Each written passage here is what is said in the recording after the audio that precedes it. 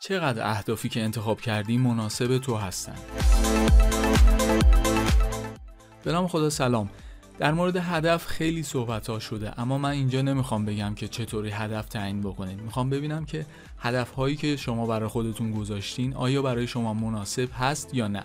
این مسئله رو چطوری میشه فهمید؟ اگر تمرینات قبلی رو انجام داده باشید با نقاط قوت و ضعف خودتون آشنا هستین.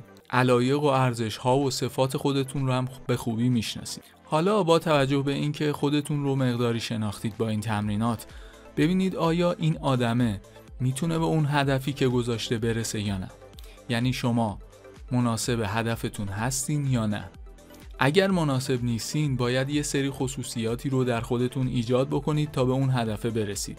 یعنی آدمی رو بسازید که اون هدفه رو به راحتی بتونه به دست بیاره. و اگر نمی‌تونید این کار رو انجام بدین باید هدفتون رو عوض بکنید.